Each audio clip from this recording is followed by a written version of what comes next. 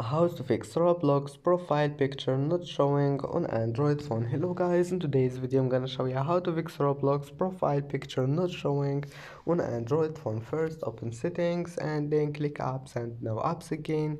And here just type here roblox and then click on it. And now click storage. And then click clear cache. This one here will find it. Click on it and that's it. Then click force stop and then just go back and try again and your problem will be fixed.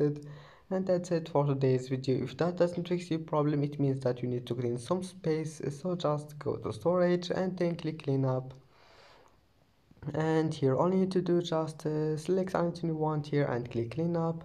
You can just clean junk files if you want and your problem will be fixed and that's it for today's video. If you like this video don't forget to like and subscribe and see you in the next video